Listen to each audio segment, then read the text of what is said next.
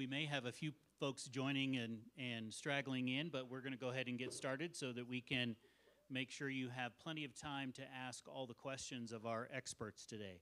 Um, I'm Dan Pennington. I'm the president of the Vail Health Foundation, and welcome to our first Learning Lab uh, hosted by the Vail Health Foundation.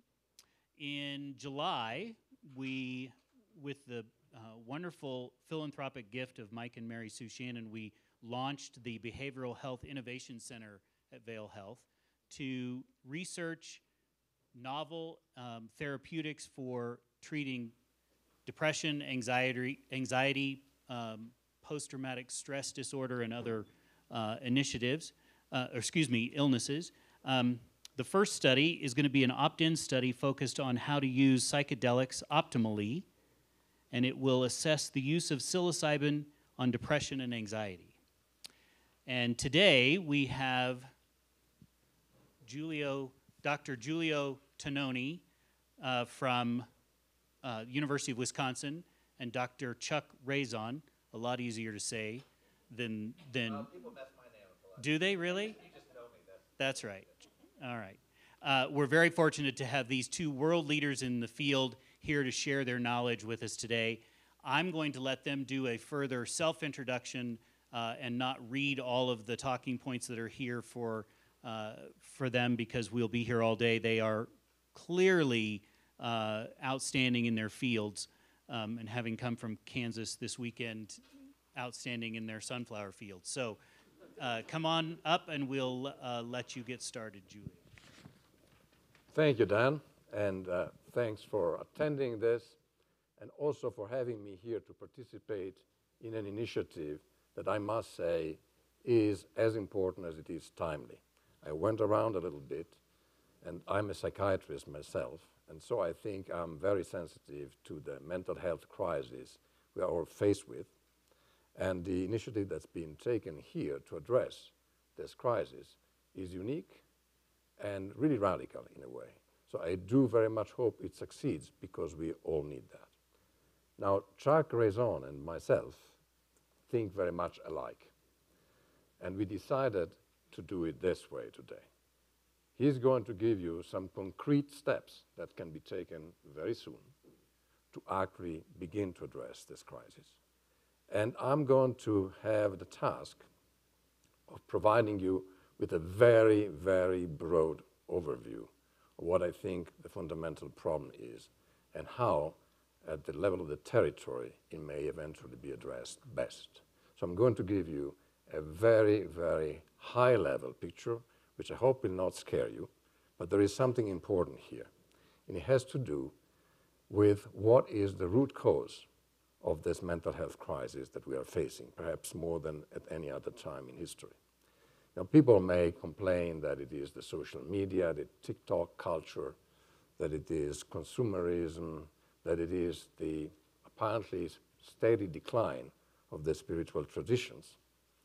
I think it's a little bit also the fault, or rather the consequence, of science. Science itself, and I'm a scientist. Science, with its success and, its power, has taught us something that people have essentially accepted without thinking too much about it, and certainly scientists by and large have. And as I will mention towards the end, I can call them four fundamental displacements that have occurred since the time in the you know, late 16th century when Galileo started the scientific revolution. That was the idea that while we thought we were at the center of the universe, each and every one of us, instead we're just a you know, speck in the periphery of a vast, you know, unforgiving universe. We count for nothing, in essence. And then there was Darwin, and the idea that rather than being the pinnacle of creation, we are just the product of chance and necessity. So no matter what you do in the end, it's your genes, it's your environment, you just are along for the ride. And even worse is the neuroscience revolution, in which I'm immersed myself, which essentially has convinced most of my colleagues that we are essentially biological machines or biological computers. that there is a complicated machine, I'll tell you a little bit more about that, the brain, that runs through the motions, and we are carried along by it as an unwitting passenger.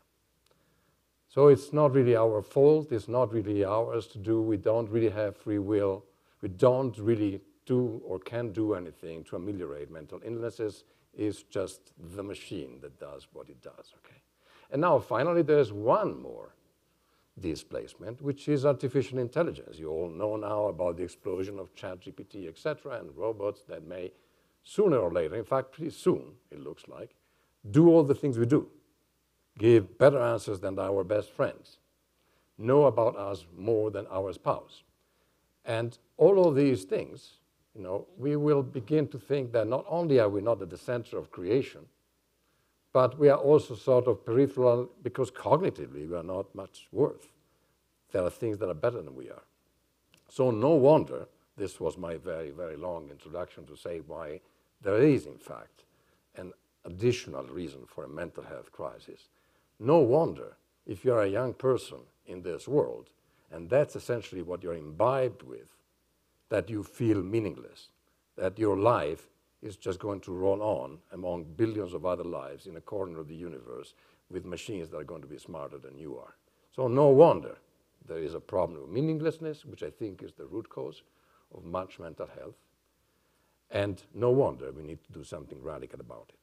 Now, what I want to convince you of very briefly is that a lot of that has to do with what science has done in its attempts since Galileo to remove the subject you and I, the conscious being who actually does science, scientists are conscious too, from what is being studied in order to be objective and therefore powerful, but remove it such that essentially the soul has literally been lost. In science, there is no soul anymore. The soul is something that, according to the majority in science, is sort of a pre scientific, primitive notion of spiritual traditions we know better now okay, we understand the brain, its mechanism, and so on. So at the heart of it all is consciousness, which is the title of my talk. Okay, consciousness because it is the key thing to unravel to know our place in the universe and therefore also our meaning and the meaning of our life. So let me first define what that is very briefly in a way that we all understand. It's very easy to define it in the negative. It's that thing that goes away when you fall into dreamless sleep or if you're hit on the head, okay? You lose consciousness. And what happens when you lose consciousness? You lose everything. You don't see anything, you don't hear anything, you don't touch anything, you don't think anything, you don't remember anything, you don't feel any emotions. Everything is gone. So as far as you are concerned, each and every one of us, there is nothing at all. So imagine that for a moment. Just think we are all unconscious for a moment. We all get hit on the head. And there is nothing at all. Okay? Now, oh yeah, we think the mountains are still there, etc. But with nobody around to look at them, would they really be there in a meaningful sense? This is a teaser, but it's important. For each and every one of us, consciousness is all there is. There's another way, more positive, to define it, which is, just to keep it in mind, to be conscious is to have an experience, any experience. You see me, you hear me, you think something, and so on, you're having an experience. And therefore, it is all we have and all we are. Take away consciousness, there is nothing left. Okay? So it's rather important. It's not just some additional little thing, it's everything. Another way to put it is what it is like to be. So if you're conscious, there is something it is like to be you. If you're unconscious, there is nothing. So I think with this, I can move on to what instead the standard scientific view is. So let's forget the soul, consciousness, etc. You know, let's study what's actually there. And what's actually there is, of course, the brain. We all know that if I hit you on the head, you lose consciousness. So it has to do with the brain, or at least some parts of it. And the brain is indeed a very complicated machine, no doubt about it. For instance, the cerebral cortex, this part up here, has roughly 16 billion neurons, which is a big number, but really not different from the number of transistors in an iPhone. Okay? What it does have that's remarkable is 100 trillion synapses, the connections among these neurons. So that you don't find in an iPhone. But it depends how they are arranged. In fact, I want to point out one thing to remember. It's just one very basic thing. Consciousness very much depends on the cerebral cortex, especially some parts of it, as we will see. But if you look down here, the cerebellum, which is this piece back here, it's smaller, but it's very dense with neurons. It's like a super highly populated region of the brain. It has 70 billion neurons, so five times more than the cerebral cortex. Incredibly complicated. They respond to sensory stimuli, have motor actions, and so on. You take it out, so you throw away four fifths of all the neurons in your brain, and sometimes surgeons must do that. And what happens is nothing. So, what happens is you are still there, you still see and hear and think and feel. You have some problems in locomotion. You go around a little bit as if you were drunk. Okay, so there are some problems. But consciousness, which is what matters, is unaffected. Okay? So it's not just a matter of being a biological machine. Okay? There is something special. And of course, you can study the brain at many levels of resolution, from regions of the brain to mini columns, to neurons, the cells, to their connections, to the vesicles inside, and so on and so forth.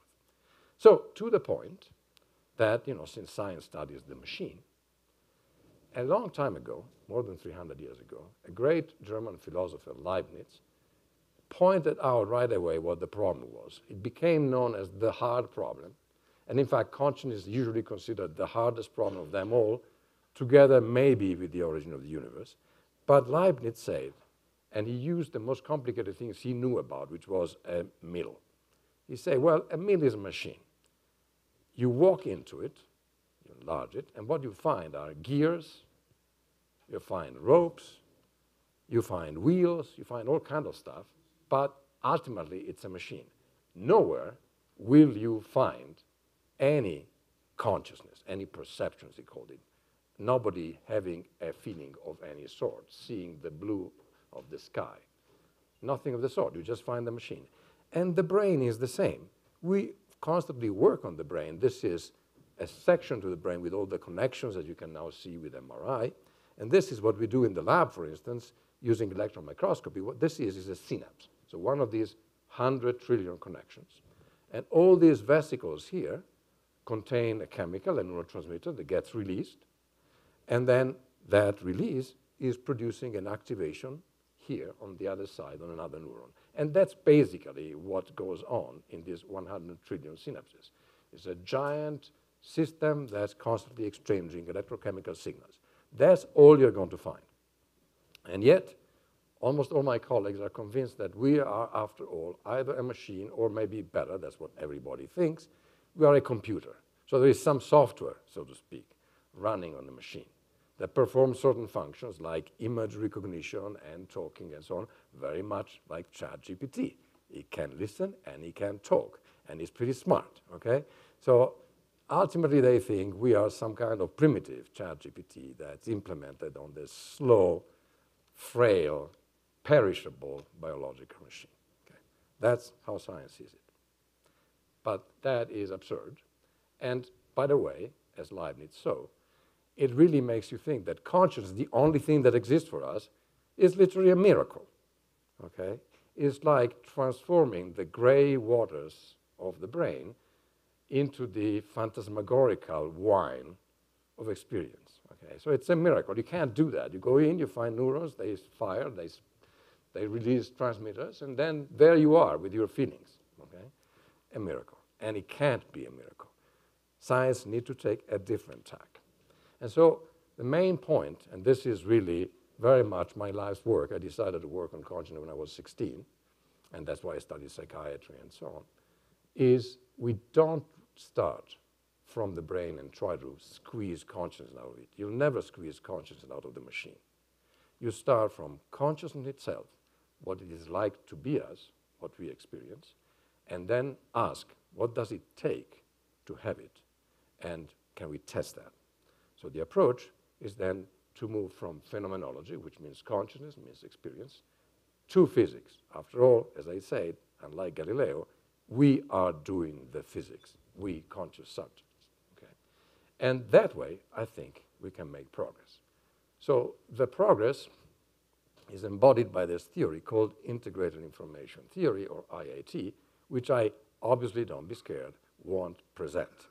You know, I am going to hold a summer school every year in Venice in 10 days from now. It's eight days of full immersion in this to get down to this. So I cannot do any justice to the theory. I just want to tell you that there is a substantial body of work that really takes the properties of consciousness and says, what do we need? What kind of substrate do we need in order to have it? And why does it feel the way it does? Why does space feel extended, time flowing, object like they bind some general concept like person with some particular features, why red feels like red, and so on. So all of that. And you know, the essence of the theory is expressed in this particular slide that says an experience, any experience, like when you wake up in the morning and before there was nothing at all, and then suddenly there is you, your body, your bed, your room, and the mountains outside the window. Okay? When you wake up and suddenly everything comes into being, which is your experience, your consciousness, what does that entail? And the idea is that there has to be a substrate, so something made of things you can, as a physicist, manipulate and observe. There's nothing magical here. That has to have the properties that consciousness has to begin with. And these properties, which are here, basically means you need some substrate that's incredibly densely connected, such that no matter how you cut it, you lose a lot. And there's not much in nature that's like that. You know, neurons have 10,000 connections, each of them. They receive them and send them. Transistors have two or three. Okay? So there's something very special. And some parts of the brain are very densely connected, satisfying this requirement here. There has to be a complex that's very tightly woven together. And then there is another key aspect, which is you need to look at all the powers of this thing, which is what we call this phi structure or cause-effect structure. Don't worry about the names. The idea is that in the end, any experience should be identical to this thing we can actually work out in principle for simple systems, for our brain, not even remotely yet, but the idea, I think, is there. And it, the form of this thing, of this structure, captures completely what the experience feels like. And this quantity, phi, which is the sum of this amount of reducibility, how much consciousness there is.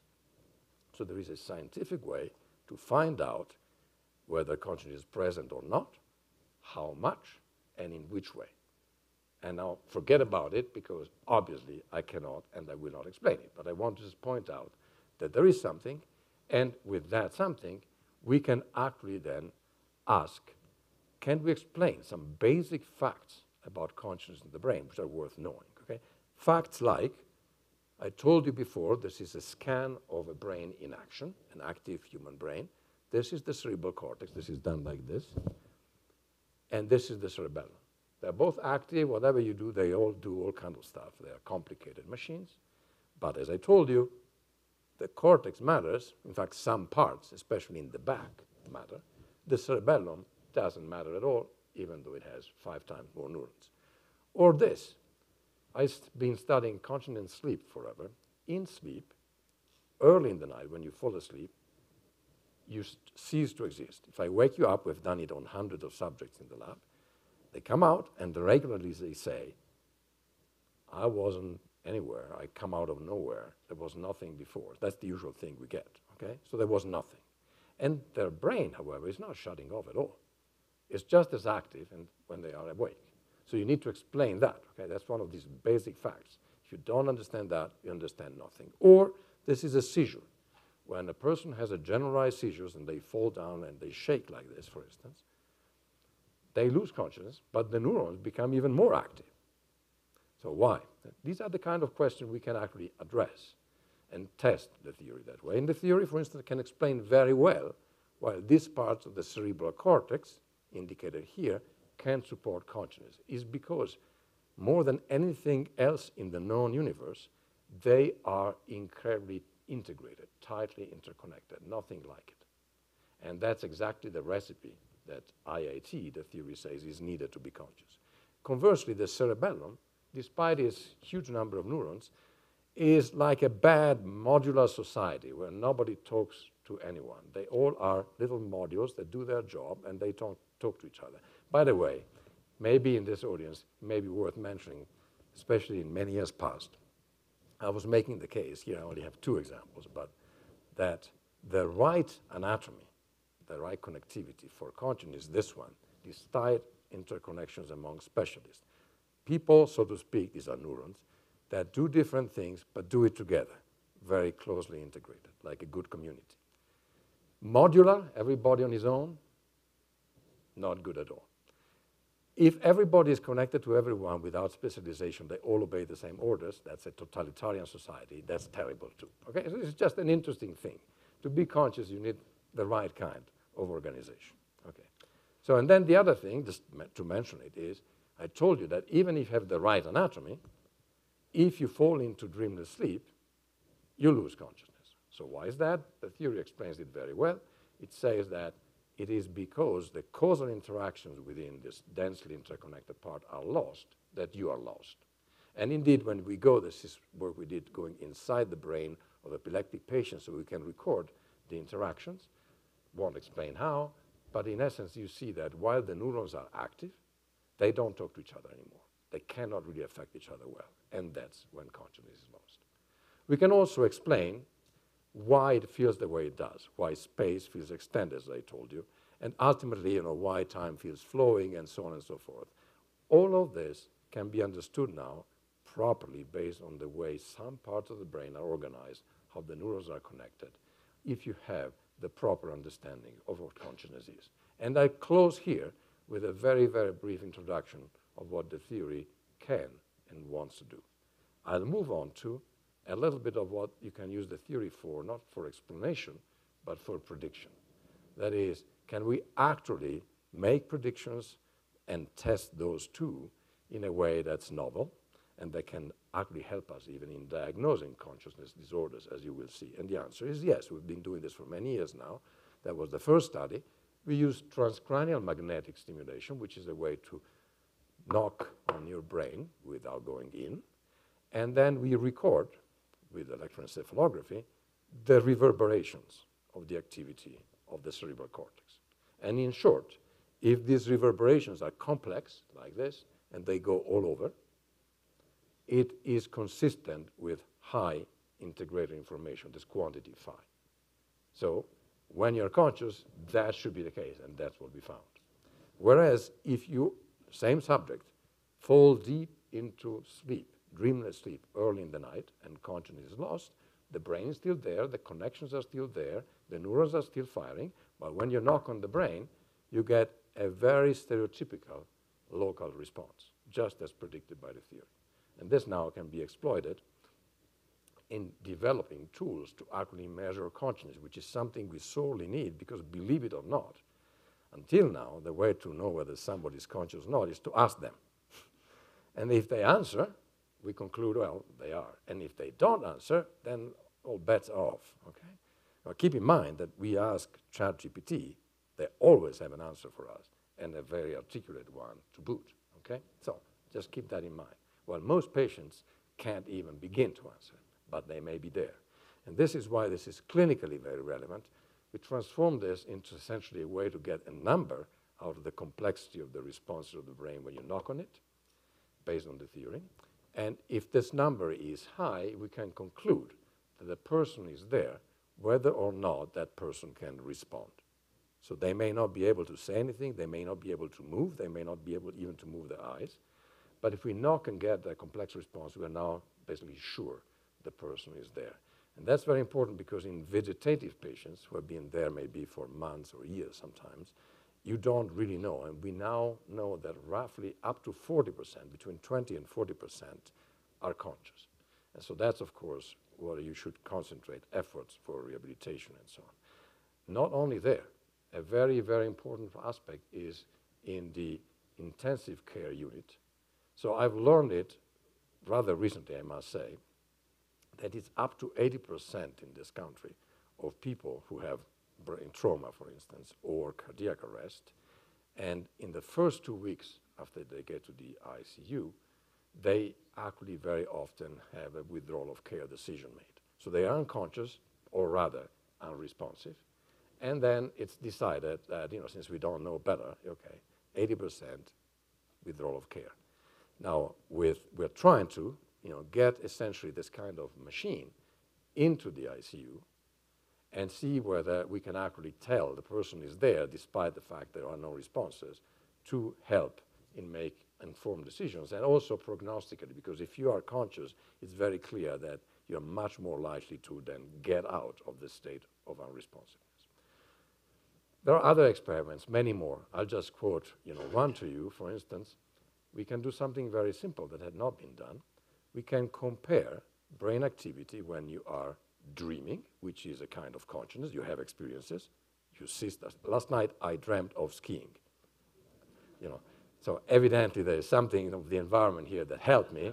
Uh, I dreamt of other things too that I won't tell you, but it was a great, great dream. Okay, so I dreamt of all of that, and uh, you know that was being heavily conscious but disconnected from the environment, compared to when the subjects are completely gone, so they are not there early in sleep. And when you compare it, you find these areas in green and blue. This posterior part of the cortex back here, those are the areas that if you are dreaming, they are just fine. If you lose consciousness, so you have dreamless sleep, the causal interactions inside, as I mentioned to you before, break down because there is this called delta activity, which essentially means the neurons cannot talk to each other well. So we showed that, and the nice thing is this is, you're still sleeping, so outwardly you are there, sleeping, eyes closed, doing nothing. The brain looks the same, does the same things. But no, as predicted, that's what happens in the brain. And one last piece of experiments before closing with the last part. This is something we worked on for the past four years. And it has to do with a very counterintuitive prediction of IIT. IIT says, because of what it says consciousness is and what it takes to have it, it says that you can also be conscious if the neurons in the appropriate part of the cortex, here in the back primarily, are fine, but they're not active at all. As long as they are fine and they can interact, even though they are not firing, meaning spiking, shouting, whatever you want to call it, you still would be conscious. And I thought that in many traditions, especially spiritual tradition, both Buddhist, Zen, but also some Christian traditions, there are some states that have been called states of pure presence, or sometimes pure awareness, naked awareness, there are different names, but they essentially refer to the same state of consciousness. It's the state in which the subject is vividly there, so there is something it is like to be, but there are no thoughts, no object, you're not seeing stuff or hearing stuff, no self, it's not you, there's just existence, okay? And usually it's described like a vast luminous expanse. That's how they describe it. And we now studied many of these from different traditions, and we predicted that what we would find is that in the brain, we find that activity is minimal, and that's exactly what you see here. This gamma activity recorded with EEG, this is just the surface of the brain projected down. The details don't matter. Is usually reflective of neurons being very active. And when you are in this state here, the neurons are minimally active. We can't really record them, we can't go inside until we find an epileptic meditator, which we haven't found yet. But there is almost no activity in the brain, and consciousness is there. This is against every scientific notion that you know, people think it's information processing. So, all of this brings me to the last part, which is some of the implications. Given that this theory explains a lot about consciousness and has been tested, and so far definitely so good. Okay, if we take its lead, where do we go in asking difficult questions like animal consciousness, organoids, collective consciousness, and above all, artificial consciousness? Okay, and I want to mostly focus briefly on artificial consciousness because it's becoming urgent and important. So many, most of my colleagues in neuroscience, psychology, cognitive neuroscience, and also most philosophers, do think that future robots, or even just computers running very powerful AI, since they're going to do all the things we can do, they're going to be as conscious as we are. What else is there after all? That's what I think, okay? So because they do all we do, they would feel all we do, whatever that means. They have no explanation for what that means. But IIT clearly indicates, and we have demonstrated that, that you may have a system which is functionally equivalent. So a computer, for instance, that does everything you do, properly programmed, driven by AI. But because of the way it's built, because of how computers are organized, doesn't matter what the software is, they will not be able to support this big phi structure and therefore be conscious. In fact, there will be zero consciousness. They will disintegrate into many, many, many things that count for nothing that I call ontological dust. Okay, that's what I call them. So it's nothing. They act as if they were like you or better than you, but there is absolutely nothing there, which is what many people, I think, rightly intuit, but all the experts think otherwise, okay? And so, to quote Philip Larkin, okay, what is it like to be a computer? No sign, no sound, no touch or taste or smell, nothing to think with, nothing to love or link with. Okay, so he was very perceptive. He wasn't talking about computers though. And that leads to a dissociation, which we should be very well aware of between conscience and intelligence. IIT says that you can have incredible intelligence, and we're beginning to witness that, and no consciousness whatsoever. There's nobody there. It's dust. You can also have potentially high consciousness. I'm indicating an organoid there, but in, an organoid in certain conditions that we don't do in the lab, okay? Which might be conscious, at least of space or something like that, and stupid, do nothing, not be capable, doesn't even have inputs and outputs, for instance. Okay? The place where you can find consciousness and intelligence go together is actually through evolution, is for a story which I won't be able to tell you today, if the forces that make, you know, you have to be conscious, fine, but also be able to survive in the environment, then the two things go together, which is why we are both conscious and intelligent, usually, but not always. Okay. And so now, to finish, what does IIT say then about our place in nature? And why is that sort of relevant, finally, for mental health? I told you about Galileo and essentially all science since his time that takes this extrinsic view. Forget the subject, forget us, let's just study what's out there. And that was fantastically successful, no doubt. And so let's then say that we are not at the center of the universe, far from it. We are not creation's best product.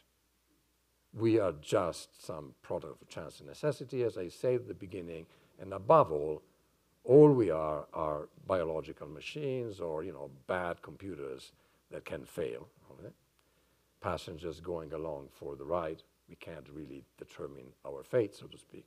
And we're not even unique because smarter beings than us will take over, or even if they don't take over, they would be better than we are. Now, if IIT is right, and I definitely think it is, we go in the opposite direction. Let's start in the reverse order it's exactly the other way around for all these points. It's almost hard to believe. It's exactly the other way around. I told you already, computers can be as smart as you want, but they will never amount to nothing, to anything. They really are just tools, as we think they are, and always did, rightly so. They are tools that do our bidding. They are not subjects, okay? They are dust. Sorry. And then this is difficult to explain now, but every thought, every object in your mind, everything you see, everything you feel, is a giant structure that requires a very, very special substrate, as you only find at the moment in the back of our cerebral cortex.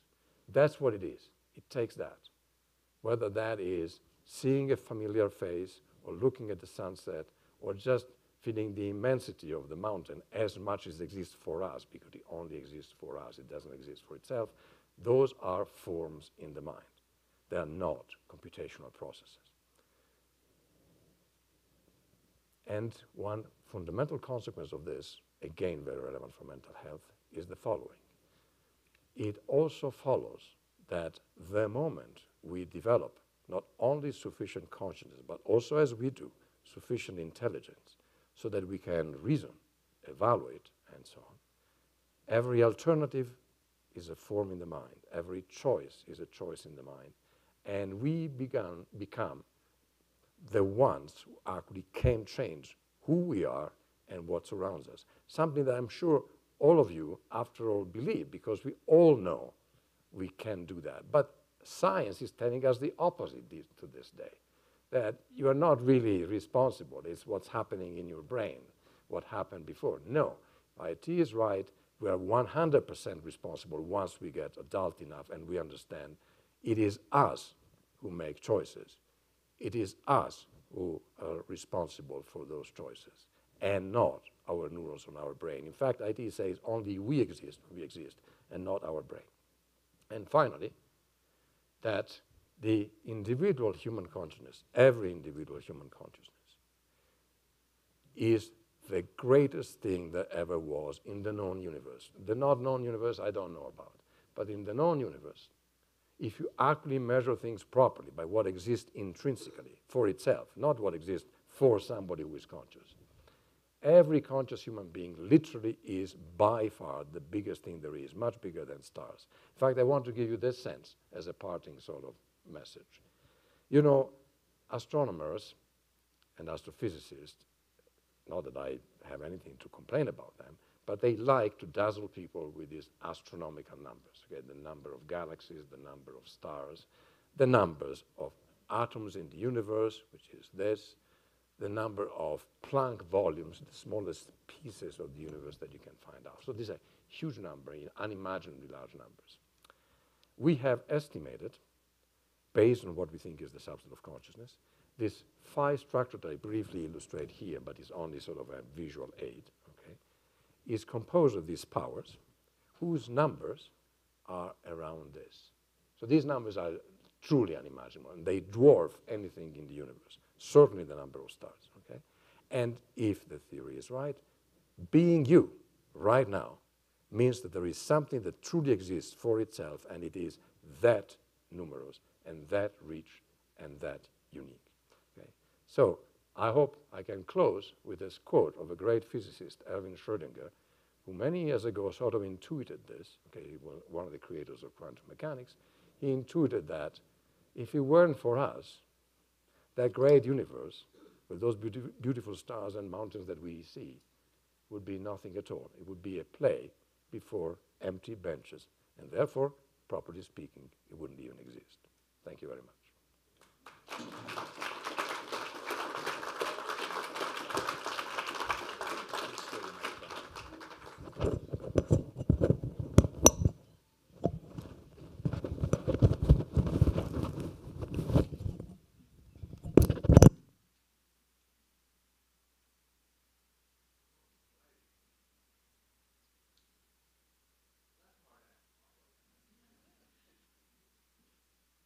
Oh, my goodness. All right, so what I want to do in just a few minutes uh, is, if I can find my slides here, I may need some help finding the slides real quick. I, I want to talk a little bit about how some of the more pragmatic implications of what Dr. Tononi talked about, we're going to try to instantiate here in Eagle Valley. Um, particularly this idea that consciousness has causal power, that the experiences you have as a conscious entity can be harnessed in ways that are really valuable for transforming how people feel emotionally and therefore for treating mental illness. So I've got just 10 slides, it's going to be a fast talk, but as I say, I want to try to bring some of it down into the pragmatics that we're going to operationalize. Of course, Dr. Tononi is a colleague in this work uh, here, as are several other folks from UW and Emory. We've really assembled a remarkable team to do this work here in the Vail area. So, uh, you know, as Giulio said, modern science sees humans as machines. And, you know, you go to medical school, you see this. You know, the machine idea works great for the liver, works really, really well for the heart, doesn't work so well for the brain. And so, you know, psychiatry, and I'm a psychiatrist, but we've imbibed this metaphor that essentially you are a biological machine and your feelings are produced by neurochemicals and depression is a neurotransmitter deficiency and all these sorts of ideas. And if that's who you are, uh, then of course, obviously, the way to do it is to think about the psychiatrist as a mechanic, not as a priest, not as a therapist, not as, as somebody that's got a relationship with a human being, but somebody who says, mm, okay, you, there's a chemical here, I got to fix it. And if you've been to a psychiatrist, uh, unless you're very lucky, you've probably had this experience where they ask you about symptoms, how you sleep and how you eat, and, right?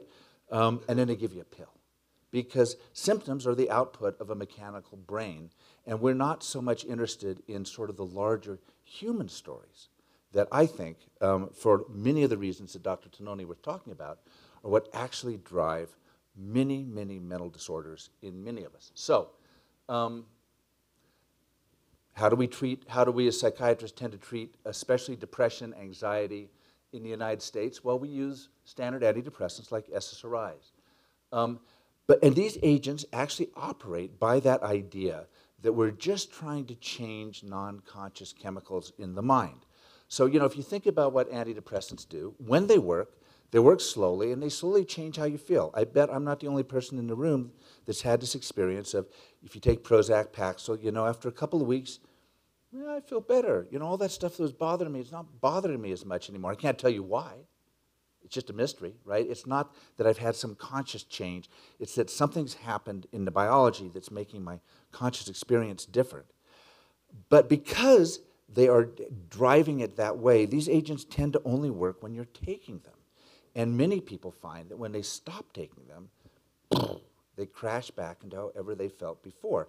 Sometimes, actually, they crash back and felt worse. Now, this is not to say that these agents have been hugely valuable, hugely life saving. I'm a doc, I prescribe them, but this is just a truth about the limitations. And one of the things that's striking about these agents is so I'm nervous, I'm anxious, I feel terrible about myself. I start taking an antidepressant. A few weeks later, starting to feel pretty good, starting to feel pretty good. I'm, I'm more confident.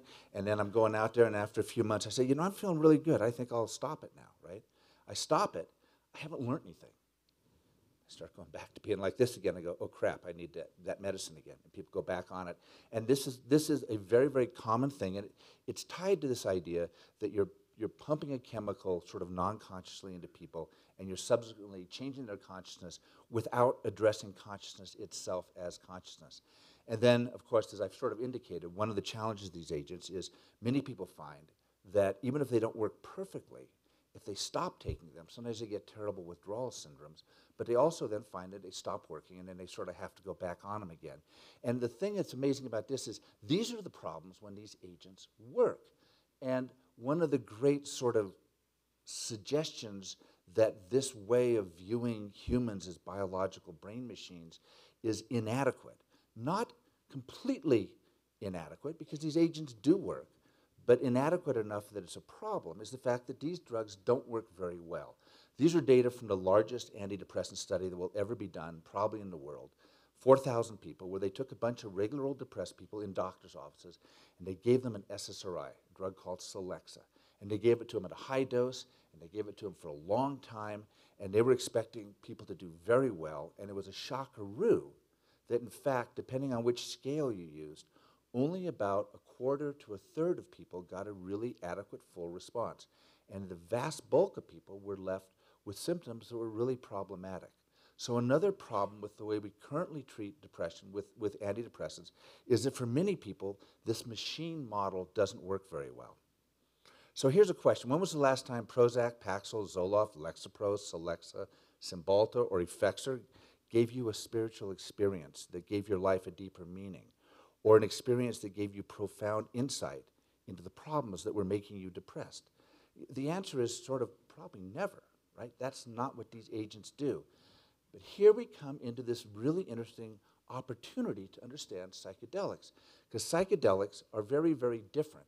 And I can assure you, and I encourage you to keep your eye on the news, because a very, very large study that that we were much involved with is going to be coming out in the next few weeks, showing again that, that, that psychedelics, especially one called psilocybin, that's been approved and passed through the Colorado, you know, this, this thing that's been passed here, has very, very powerful antidepressant effects. And in fact, in people that are very depressed, a single dose, a high dose of psilocybin, produces really powerful antidepressant effects. Not perfect, not going to solve all the world problems, but a single pill induces a psychedelic experience that lasts about six or eight hours, and then people report being remarkably less depressed for anywhere from six weeks to six months to four years, depending on the study.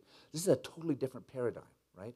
How is it possible that something that is biologically active for such a short period of time produces such a long term therapeutic effect? Well, we don't know, but we know from now many studies that the most consistent thing that predicts that long term response has to do with the conscious quality that occurs during the psychedelic experience. So if you come in and you're my patient and we, we, we do six to eight hours of preparation so you're ready for it, you come into a room that is specially set up. Example, this is a study that was in the UK. You have two therapists that sit with you, you take the psilocybin, boom, you have a kind of mind blowing psychedelic experience. And then we meet with you for a few hours afterwards over the succeeding weeks. If we do it that way, um, if your psychedelic experience has a couple of elements, you are very, very likely to get a longer term reduction in depression, reduction in anxiety. You're more likely to quit drinking. You're more likely to quit smoking. What are those elements? Well, there's several of them, but these are the two that have been the best studied. The first is something that's been characterized as mystical experience, and you can see here, I'm not going to read it, the elements, but basically, many people, when they have a, one of these psychedelic experiences in our studies, have a religious experience. They feel profoundly interconnected with things larger than themselves God, the universe, other people. They often feel that their own little lives are connected with the lives of others in ways that makes their own struggles somehow more understandable, more bearable. It, it's really quite striking, this sort of amazing, as, as Dr. Tononi was talking about, you know, this profound interconnection that people realize exists among all of us and we just sort of take for granted, right? Boom! Oh, It's like people are just, they're dumbfounded by it. And when it happens, they're often profoundly moved. Um, when that happens, and I'll show you in a second, people tend to do better. The other thing, one of the other things that happens is people have something that's called emotional breakthrough, which is a, an older word for this would be catharsis. So I am depressed, and I, people that are depressed often are depressed for reasons. And very often, they don't want to face the reasons that they're depressed for. I, we're all in this boat, right? It's called sort of this sort of repression. And psychedelics have this strange tendency to bring people face to face with whatever they're trying not to face and not to think about, and often to do it in ways that can be very uh, hard. You know, many of the patients in our studies will cry for the first couple of hours as they sort of face the fact that their parents weren't right with them, or the fact that they are repeating, you know, sort of painful patterns with their children. There's, there's an array of things that happen. But studies show that if people see it, accept it, and feel like they can either change it or if it's something that can't be changed, for instance, like I'm dying of cancer and I'm going to die of cancer, but I've had an amazing life, everybody dies. If, you know, if those sort of things happen, people tend to get really powerful long term benefits. And, and very often, when the emotional breakthrough happens, it sets in motion that mystical experience. Because once you've worked through sort of your own mishigash, to borrow the Yiddish word, very often it opens up a space where you realize that you're part of this wonderful, larger, beautiful collective world. There are all sorts of studies that show this.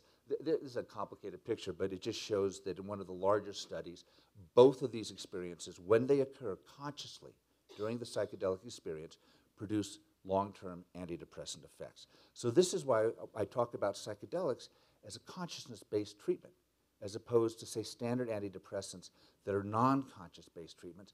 Psychedelics really appear to work by inducing conscious experiences that make people feel different about who they are and where their place is in the world and what their potential futures are. And it's, you know, people remember these experiences for their entire life. In fact, they, we, we, Dr. Tononi and I are doing a study where we're trying to see if we can get people to forget their psychedelic experiences. We co-administer a drug that induces amnesia. We've had to keep raising the dose of the drug because they forget their name, but they remember that they had an interaction with their dead grandma. You know, I mean, so it's really quite striking the power of these experiences to stay in the memory. Um, which brings us to the study that we're going to do in Vail, the first study. So, uh, one of the things that the first study in Vail is designed to do is to ask this question Can we find ways to extend and deepen the conscious memory for the psychedelic experience so that i- in an embedded, embodied, felt sense, people remember and feel the power of that experience, that conscious experience? Can we extend and deepen it um, so that if we do that, the psychedelic experience can produce a longer term uh, you know, antidepressant response. One of the things that researchers have observed is that when people that have chronic depression and benefit from a psychedelic begin to relapse into depression again, they say things like, I can remember the experience, but I no longer, I don't feel it anymore. It's not with me that way. Um, we think that if we can help people can, can sort of hold on to that experience in that emotionally salient way, we can avoid people having to go and begin to use psychedelics the way they use Prozac, right? So in FDA land, where I also hang a hat, you know, they're saying, well, it's just a drug. So, you know, we expect people are going to have to do it three, four, five times a year. And that may be true, and that may be okay. But our interest is can we, in fact, then sort of harness the power of consciousness so you don't have to do psilocybin three times a year? You can, you, the experience can extend in ways that you don't need to keep turning to a drug. You can, you can sort of enact this self contained within your own body and brain sort of pattern of behavior and activity that protects you from being depressed. So it's a fancy slide, and I'm going to come over here and just read it because I'm not going to tell you everything in it. But we're going to basically test this idea. But this study has some really interesting sort of features. The first is that everybody that comes into this study in, in, in the Vail area, uh, all the residents of Eagle Valley, are going to receive a dose of psilocybin. So one of the commitments that Chris and I, Chris Lindley and I made at the very beginning of this is that we're not going to randomize half the people to a placebo. You know, God bless you and stay warm. For the treatments that have data supporting them, like psychedelics, everybody gets that. So that is a benefit that people get, and that's a benefit that folks get free of charge because they're coming into a study. And that is a, sort of a beautiful thing about this. It makes this, you know, you're not going to have to go down to the local guy in Denver and buy some mushrooms, or you can't buy mushrooms, but your buddy. No, you come and you get state of the art treatment. It'll be free of charge because it's a study. But you're also going to contribute to our scientific understanding because we're going to ask this cutting edge question of how can we extend the felt sense of the psychedelic experience. So the second thing it's going to do is it's going to allow us to explore can we enhance and extend that sort of power of the psychedelic experience? And then how are we going to do it? So interestingly, um, we're going to do it uh, initially with a very simple, non invasive technique that's been pioneered by a colleague of Dr. Tononi and I's called transauricular vagus nerve stimulation. It's kind of a mouthful. But you may have heard of vagus nerve stimulation. It, it, they, you know, they, they use it for depression where they plant it in your chest and it. But what people have found more recently is that because the vagus nerve goes up into the brain and sort of stimulates memory, um, if you pair the stimulation with a context that you want to strengthen, you get a much more benefit, right? So it's approved for stroke, right? So in stroke patients, you know, I'm paralyzed here. Every time I move my finger, you get a little zap, right? And there's a whole biology for how this works. But the cool thing is, we're not, we can't implant people things in people's neck, but there's a branch of this nerve that comes right out here to the ear.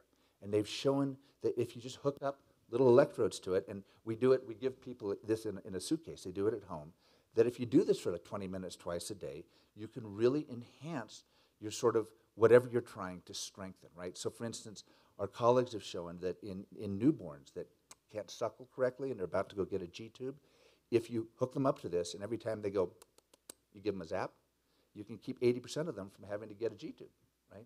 So it's pretty cool.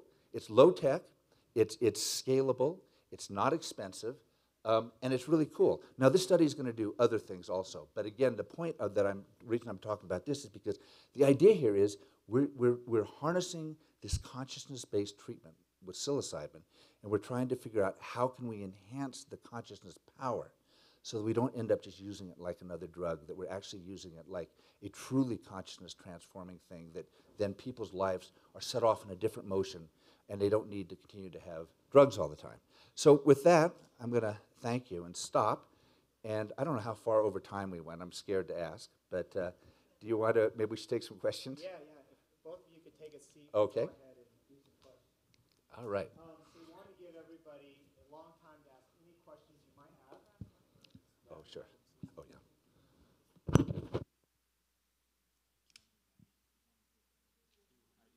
You do? Yeah, they're recording.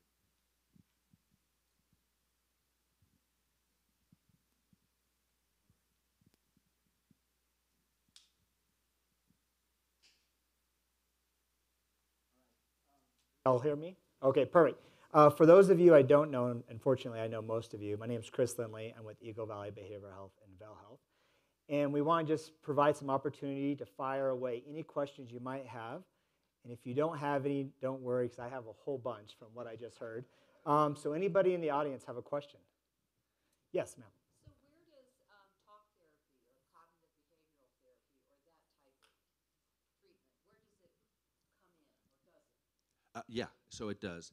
So, you know, it's interesting. There's a fairly robust data set that shows that if you treat people with, with an antidepressant and they get remitted, they're, they're, they're not depressed anymore, or you treat people with talk therapy and they remit, and then you take away both of those things, the people that got the antidepressant crash when you take away the antidepressant.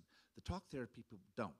They do, but not at the same rate, right? So I conceptualize psychedelic treatment as being more akin to talk therapy than to drug therapy, in that uh, we think that the dynamics of the treatment are like, um, like a sort of a supercharged talk therapy. And there, there's a sort of cliche in the field that, that a psychedelic experience is often like a year of psychotherapy in a day. And I actually think that there's something to that, because people, you know, that is often the case. Now, what psychedelics do, you know, and it's interesting, I didn't say this in my talk, but I, I can tell you that in studies, our patients come in, they are severely depressed, all right? And when the psychedelic works, the full effect is apparent within a day or two. So it's not like standard antidepressant. That experience changes something, right? Um, it turns out that the same thing is true in psychotherapy, but it's not nearly as widely known. There's a whole literature on something called sudden gains and sudden losses. And so researchers that study psychotherapy have shown that, that if you're in, in psychotherapy and you know you start out really depressed and when you're done you're undepressed, that, that most of the time that doesn't come because you get a little better, a little better, a little better, a little better. What happens is you're going along, you're going along, and then there's a session where something happens. Boom, your score, you get less depressed. You go along, boom. That, that people that have these sort of saltations or sudden improvements do much better. So psychedelics even look like psychotherapy there because what they seem to do is to induce an incredibly powerful sudden gain because they, they just are so powerful at, at reshaping people's perceptions acutely. So yeah, it, there's definitely a place for talk therapy. And in a better world, most people who are struggling with depression that's not like psychotic or people with schizophrenia, the, uh, you know, most folks, which, and there's a, it's a horrible burden, would do better to get psychotherapy as a first intervention and not medications. Not so easy to do in the United States, of course, because psychotherapy is time consuming, it's expensive, it's not always covered by insurance. But the data would suggest that it's the optimal first treatment in general. It Doesn't work for everybody, but as a first move, it's better than starting up on an antidepressant. Not something I would have said 20 years ago, by the way. Tina.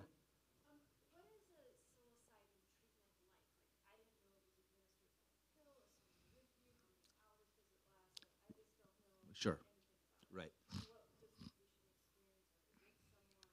Yes. Okay, good. So in, in our studies, and sort of standard for the field, here you go. You're depressed. We're going to screen you. We're going to make sure that you know you qualify. You come in, and before you get to psilocybin, in our studies at least at USONA Institute, you're going to spend six to eight hours with two people that are we call them facilitators, but they're, they're really therapists.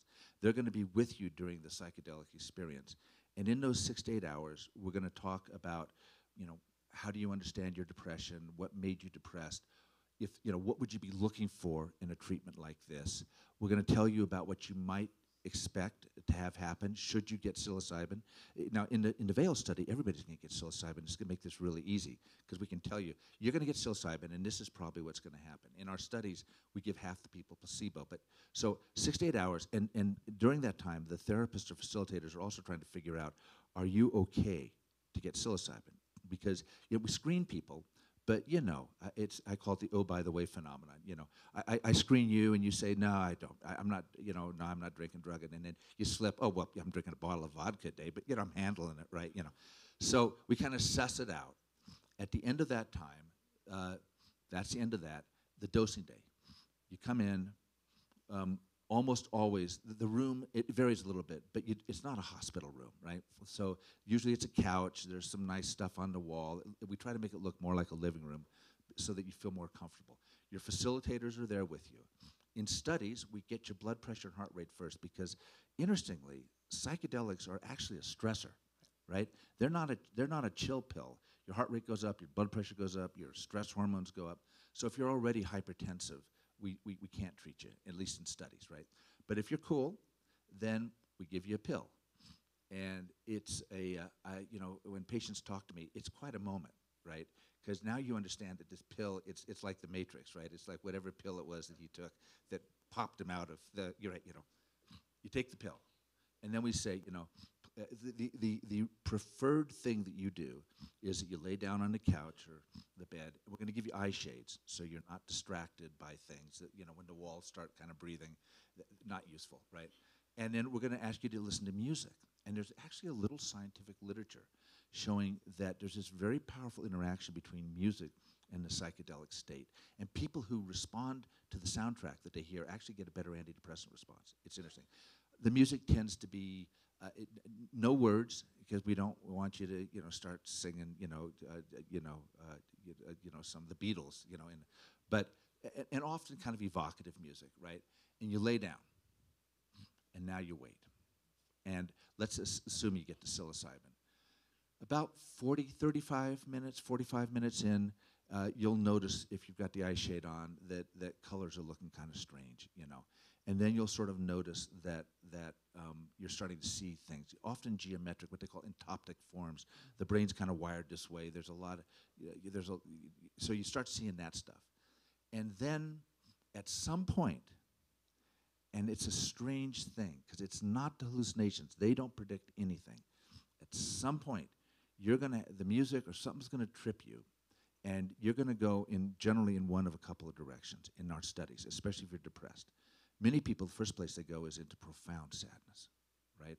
It's just overwhelming, and uh, you you whatever it is that you've been holding back on, it's right in front of your face. And if you fight it, you're going to have a hard time. But if you can go with it, uh, as frightening as it is, very often what happens is you move through it. Now, this can take an hour or two. The peak effect usually happens at about three hours. Um, or you may be somebody, there's other people, um, uh, you know, there's other people that will go right into this sort of joyous, mystical experience. Lucky folks, right? Because that also predicts a good outcome.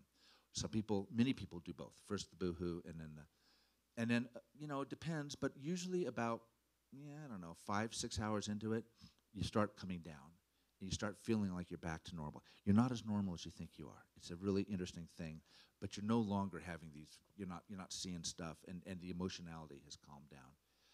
In our studies, we usually keep you for seven or eight hours. Some studies they keep you overnight, uh, but we don't always do that in our studies.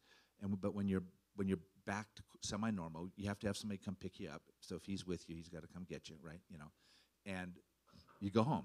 The next day you come back, and we spend two hours with you, and we sort of talk about the experience and and you know what came up for you, what did it mean for you, uh, what is it, you know, does it say anything perhaps for your depression? Uh, Generally, the approach taken in these studies is a kind of Rogerian, non-directive approach. So we're kind of letting you find your way and make your meaning here. There are other psychotherapies that might be more effective. Nobody's ever studied those, but in our studies, we, we, we don't want to be overly, you know, psychotherapeutic, especially because the FDA has kind of got an issue with this, unfortunately. But we sit with you, and you can imagine it's quite a challenge, though, for the folks in our studies that got placebo. Generally, nothing happened. They laid there for six hours. Their one chance of a miracle cure, right, shot. They're pissed off, and then you get to sit with them. The, the facilitators, they really complain about this. It's, it's, a, it's a great gift to the world that the, the facilitators do this. And then a week later, we have you come back for an hour, and a week later, we have you come back for an hour. And that's what we do in our studies. Now, there may be more optimal ways to use these agents, but this, this way of doing it has been the standard since the psychedelic renaissance started again around 2000. And it comes out of actually sort of experience from the 50s or 60s, because in the early days, they'd give you LSD, strap you to a gurney in a horrible white room, and come back and check on you in five hours. And people, you know, they had panic attacks, and it was a nightmare, you know. So they figured out, though, that, that if you did it right, instead of it being horrible, it could actually be hard sometimes, but therapeutically useful. Yes, ma'am.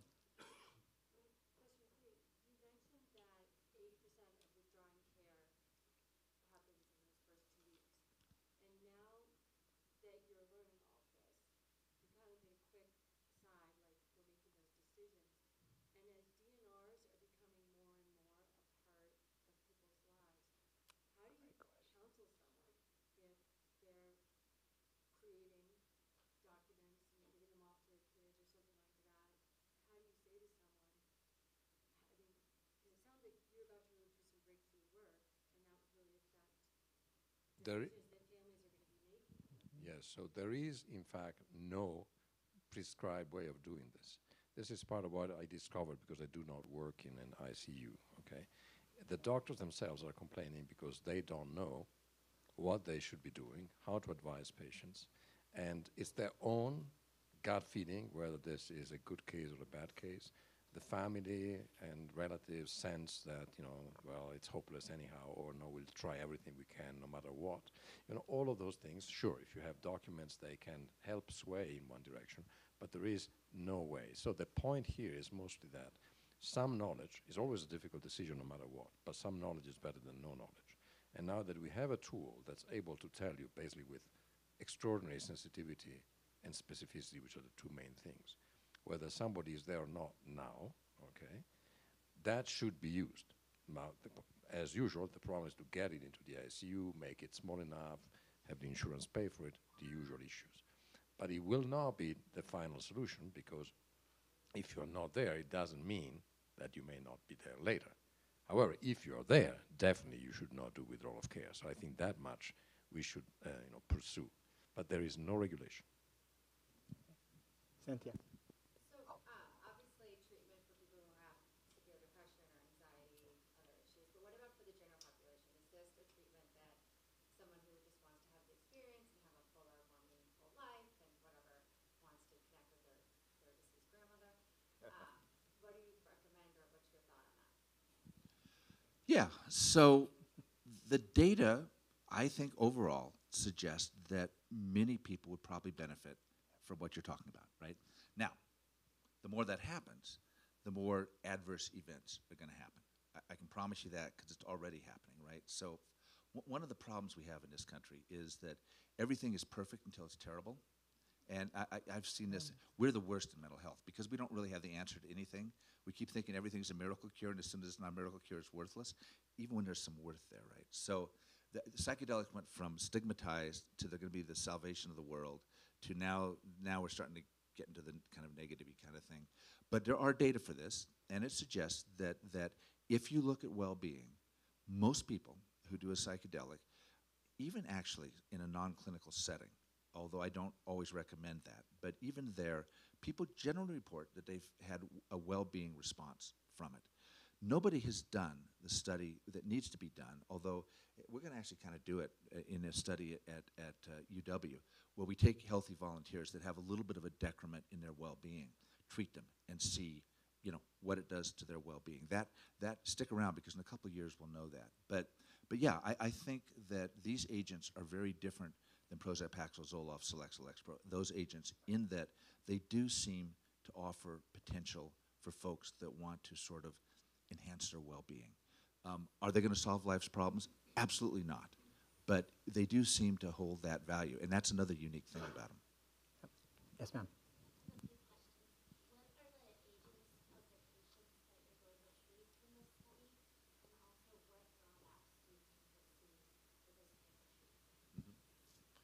Uh, we'll probably do 18 to you're too old to safely do it.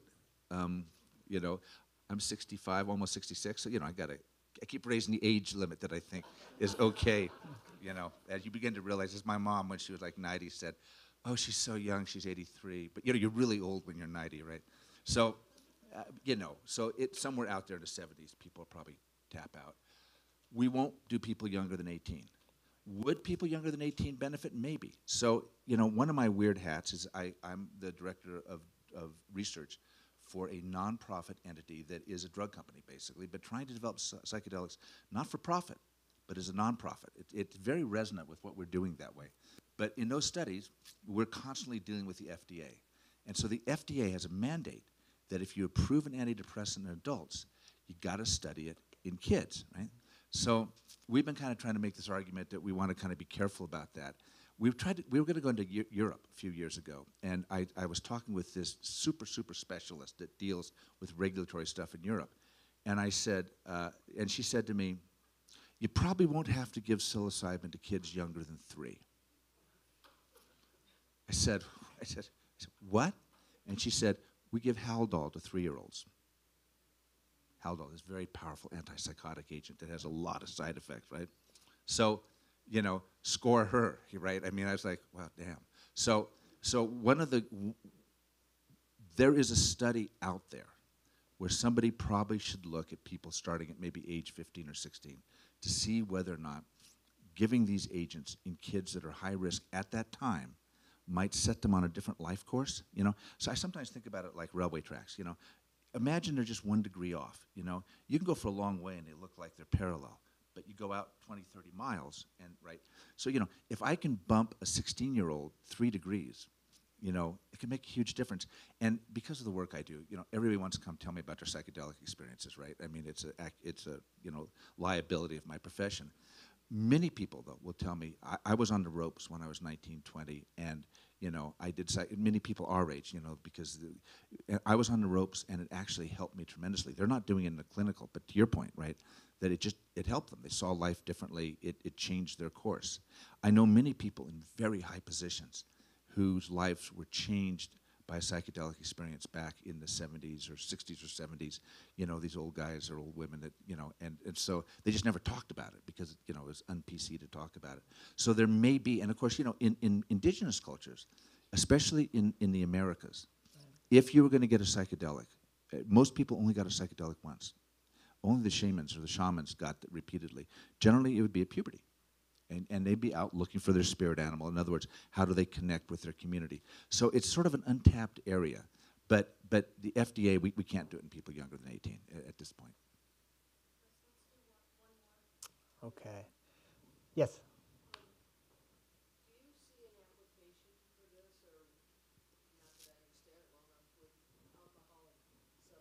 Oh, absolutely. So, when these agents, when you know, I mentioned that they were just tying people to gurneys back in the late 50s and people freaking out. When they began to realize that these agents had therapeutic potential, and of all places where it was first really realized was in Saskatchewan. I mean, end of the world, right? Out in the middle of nowhere, right? But there was a guy named Humphrey Osmond who was a psychiatrist, and they had these agents, and, and he said he had observed that people that had the DTs, you know, the bad delirium tremens, they go psychotic, and very often they never drink again because it's so terrifying, right? He said, you know what? Psychedelics make people psychotic. Maybe we can give people psychedelics and they'll stop drinking. And so they started doing that work. The two things in the 50s and 60s that were, that were most supported as potential targets for psychedelics were end of life anxiety and people dying of cancer and drinking and drugging. Now, there are companies that are actively commercially developing psychedelics for uh, alcohol use disorder. And one of the largest studies that's been published to date in the field, done at NYU by a guy named Michael Bogenschutz, was in people that had, you know, bad alcohol use disorder. It's an interesting study. He gave people a couple of, of psychedelic experiences. He combined it with a standard sort of uh, therapy, psychotherapy for, for drink for, for substance use disorder, right? The control condition was just the therapy without the psychedelics. The therapy worked pretty well, but the psychedelics worked way better. So if I, if I had to bet where are these agents going to eventually be most effective, we work in depression. Depression is a huge need. They're going to be effective there, but the challenge there, as we talked about, is people that are chronically depressed, they begin to lose the effect, and you know. But conditions where you're struggling with a single problem, and you have a psychedelic conscious experience that addresses that problem, I think those are the conditions that these agents are going to be the most effective for because mm-hmm. that's where they're going to produce the longest term outcome. So I'll give you an example from a very early study of a psychedelic. It was way, way back, i- i- but it was a woman who was in her middle age. She had two or three children. She was a very bad alcoholic. She was in total denial about it. Somehow her husband got her to come into this very early study. She got a high dose of a psychedelic, and she had a psychedelic experience in which she saw that she was eating her children. She was cutting them up with a fork and knife and eating their innards, right? And it was the most horrible thing that she'd ever experienced. And then she realized that's what my alcoholism is doing. And she stopped drinking. That, I think, is that speaks to this sort of consciousness and the, the power of a consciousness treatment. So I think that's a place where these agents are going to be especially powerful because we know that a lot of people quit drinking, have an AA type experience, right, where they hit bottom and something happens, right? And psychedelics, to your question about psychotherapy, that's what they seem to do, right? So another place where they're probably going to be extremely effective is in post-traumatic stress disorder, where you're struggling with a single sort of horrific thing that you can reconceptualize, and then end of life. So, you know, if your problem is that you're devastated, you're dying of cancer, and you have an experience that makes you understand it differently, it really sort of, you've kind of dealt with the problem. So, yes, substance abuse, and, and one of the things that we're going to do in the VAIL study that's very novel is we're going to let people in that have some degree of substance use. We're going to really recruit people that are the patients in Eagle Valley Behavioral Health. And we can do it because uh, th- the problem is going to be that the people with substance abuse are going to get better outcomes probably, but that's okay, right? So, so we're going to actually begin to be able to look at this, that if you have a substance use problem and you're depressed, it, you know, this is going to be a study where we're going to be able to let people in, and that's going to be also very novel. So one more question. Um, I think we'll pull both of your talks together. So psychedelics work in a conscious state, and Chuck and I have talked many times. Is we believe, I think, that it increases your consciousness. With your theory and your new ability to measure it, you, have you guys thought about measuring either the increase or decrease of consciousness under a psychedelic state? We certainly have, and we also have already tried that. But I think the point here is that it's not so much the quantity of consciousness that changes, it's very specific, it's what you experience. You know, we all float more or less always the same level of consciousness. People like to talk about consciousness expanding or more intense. Reality is it's essentially just the quality of the experience that changes, not so much the quantity. The quantity only changes when you fall asleep. So what we need to do is figure out better ways of characterizing the quality, which is what we're working on. But we're gonna we're taking a run at it here. So one of the things we're doing, this is where Dr. Tononi is a, a, a collaborator on this, is we're gonna us- we're gonna use a version of the thing he was talking about for the ICU mm-hmm. to detect whether consciousness is present or not. It- it's a little bit of a different assessment, but to assess, you know, after the psychedelic experience, not during, but you know, if people say I'm I'm feeling very different about things, can we see some sort of signature? In the in the wiring of the brain with something called neuroplasticity. So that's one of the. There's a number of really cutting edge things we're going to do in Vail. I- We don't have time to talk about all of them, but that's one of them. And this is right. that's the first one in the world that would be done so measure this plasticity with this TMS that I showed you before, the knocking on the brain and the response of the brain. That's the first time that will be done for psychedelics. In the world here, yeah. So We have to, one more question. So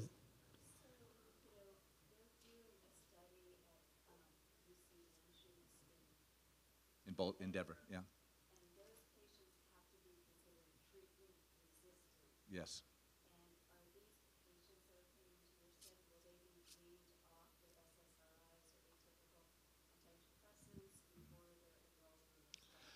Yes, they will for scientific reasons, but they will not have to be treatment resistant.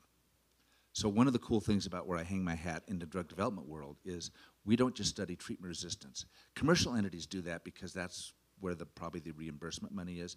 We're studying MDD, and we're going to do the same thing here. So people that meet criteria for major depression will be eligible to come into this study. There's some evidence that if you're taking an SSRI or an atypical antipsychotic, those agents interact with the same system in the brain and they may blunt the effect of the psychedelic. So we have to take people off. That's, that's not an easy thing to do. But it's a, it's a pretty nice trade off, right? Because folks, in this study, it's a really nice trade off because they don't have to worry that they got a 50% chance of getting a placebo. right, they get it. Bjorn. For the 120 patients, what is the estimated timeline for the study? Yeah, three years, maybe four years. Yeah, yeah. It, it, you know, we, we if we're running at full steam, we'll try to do three, four patients a month, basically. There's it, there's a lot of with each patient, but But we're, we're, we're going after psychedelics in, in multiple facets here at Vail Health. So we're going to do a DEA study, which will take us probably seven or eight months from today before we can launch it. We're hoping to be have it launched this time next year. We'll be doing the study, and then the study will go multiple years after that. But we're also watching the legislative action here in the state of Colorado. And if we as a hospital can become a healing center under the new legislation, we will certainly do that if it doesn't jeopardize our Medicare licensure. So because we're a hospital entity, we have to follow federal regulations. Our chief legal counsel is up here today, Kevin. And so it's all a okay, right? right? So, to the extent that we can do it within our traditional healthcare model under both state and federal law, we certainly will. But at the same time, we're also going to look at how would we potentially do this on the private side within Vail Health, because to both of their points, we know these therapies work. We know they're as effective or more effective in the model that has been in place for 40 or 50 years. And we know that those long term effects of SSRIs, benzodiazepines, are challenging for many. We would rather have our providers, which are th- psychotherapists, licensed clinical social workers, psychologists, and psychiatrists, oversee the administration of psilocybin and other psychedelics than leaving it up to the wind, which someone will fill that gap if we don't do it. And so, we, to have some rigor and fellowship, we're going to track it every way we can, but all within the regulations of the law as the law changes in the future. Art. Uh, well, we will draw largely from people that are already in the health system. Um, you don't have a Starbucks here. The Starbucks are great for recruiting people because depressed people like a lot of coffee. I, I have recruited whole studies from Starbucks, but we will the, the equivalent of I think there's a Vail coffee. So you know we will advertise right because you can get patients that way. Um, I, we will probably open it up to folks in Summit County. I, I, I don't know about people on the other side of the Vail Pass, but you know, but we'll probably make this available to people in a larger area. We might make it available to people down at Grand Junction. Um, so basically, that's it. You know, but but one of the things, and Chris touched upon this, and this is another really really novel thing we're going to try to do, or we are going to do. So right now, so remember you asked me like, what's it like to have a psychedelic experience? I said you come and you meet your facilitators, right? And then the, the, you have the day, and then we see you for four, three hours, and then bye, right? And back you go, right? Nobody has yet looked at administering these agents within the context of a mental health system, so that the facilitators are the people that you're going to see a month from now, two months from now, that is integrated into a system. It's crazy. Nobody's done that, but we're going to do it.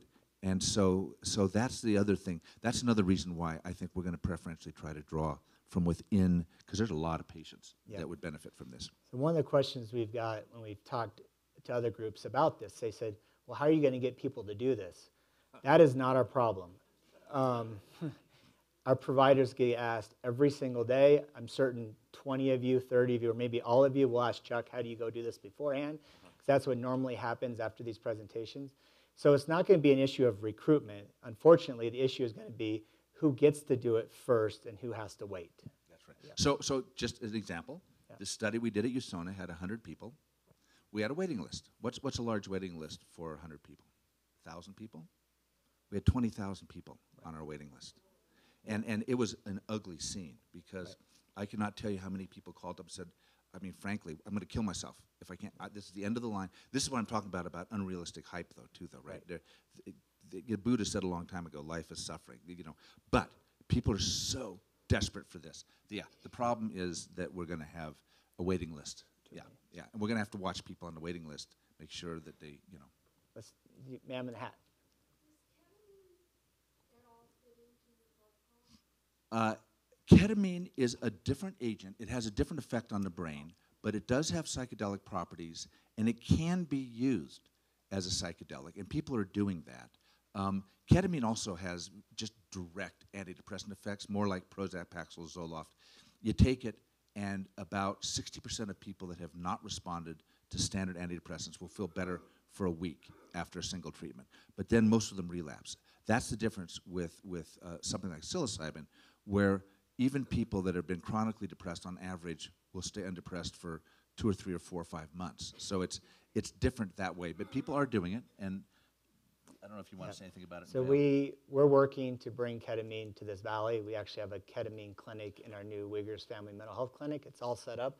We're working through a few logistical issues.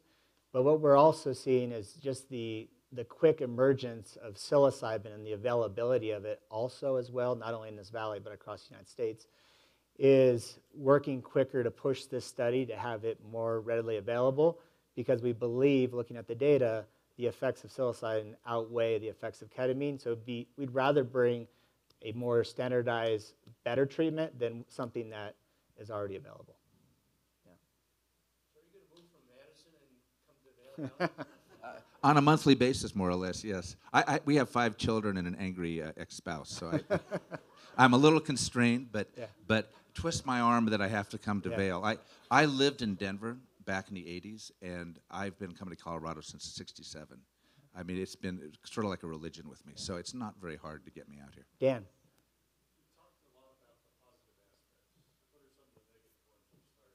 Absolutely. Um, well, like all drugs, they have side effects. Most of the side effects occur on the day of dosing. So many people will get a headache. Sometimes the headache will last a day later. People get nauseated. Sometimes they throw up. Not not so often with the pharmaceutical stuff. Um, they will. You see weird stuff, and that can be kind of spooky, right? Um, almost always, we had so in a hundred-person study, we had one person that saw a few things for a couple days afterwards. What we're interested in, and interestingly, so one of the collaborators, uh, we're you know, it looks like we're UW, but I'm also Emory University in Atlanta, and we have a Center for Psychedelics and Spirituality at Emory, and Emory is going to be a major collaborator along with UW on the work here in Vail Valley. We're pulling them in. We're right now literally in the midst, and I'm behind on it, of a, we're producing this major document about really needing to be aware of spiritual side effects. Because there's been this sort of realization that, you know, if you have a profound spiritual experience, that can be very upsetting. There's a very a wonderful article by a, a very well-known theologian at Harvard who, very depressed, came into a study at Johns Hopkins. So it totally did it right. She wasn't doing it down on a street corner. Two doses of psilocybin. First dose, boom, mystical experience, glorious, wonderful, felt great. Came back two weeks later for the second dose, and had this horrific experience of a total loss of meaning in the universe, complete nihilistic collapse. And it messed her, I know her really well, it messed her up, and she's written beautifully about it, uh, about that we need to be aware that, that, yes, you know, when you enter into the realm of the sacred, which these agents, whatever we think of as a sacred, can frequently induce, there are risks there also. And, and this, of course, speaks to the importance of then making sure that we have a container for it. And so one of the things we're doing at Emory is, you know, there's two therapists or facilitators in the room. At Emory, one of them is a chaplain so that we directly address these issues. So, so but, but, but, the, but for most people, these agents have far fewer side effects than SSRIs because they're in, they're out, and most people, even if they have a difficult experience, will afterwards tell you, wow, that was so helpful. Don't ever want to do it again, but that was so helpful. So before, gotta quit, right? Yeah, we got to quit. Um, before we give them a huge round of applause, uh, two things I just want to share.